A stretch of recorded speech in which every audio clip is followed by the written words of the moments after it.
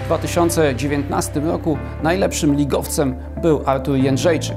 Tym razem nie ma go. Ten tercet tworzą Janusz Gol, Jarosław Niezgoda i Filip Starzyński. Janusz Gol to zawodnik, który w naszej ekstraklasie wyznacza swego rodzaju standard zaawansowania technicznego, taktycznego, także waleczności. Wszyscy chcą równać do Janusza Gola. Środkowy pomocnik Krakowi o orientacji defensywnej był prawdziwym kręgosłupem zespołu Michała Probierza. Od niego zaczynały się najciekawsze akcje zespołu i na nim kończyły się też z reguły natarcia przeciwników. Jarosław Niezgoda po wyleczeniu kontuzji odzyskał znakomitą formę w końcówce sierpnia. Gdyby stało się to kilka tygodni wcześniej, może Legia i do dziś grałaby w europejskich pucharach.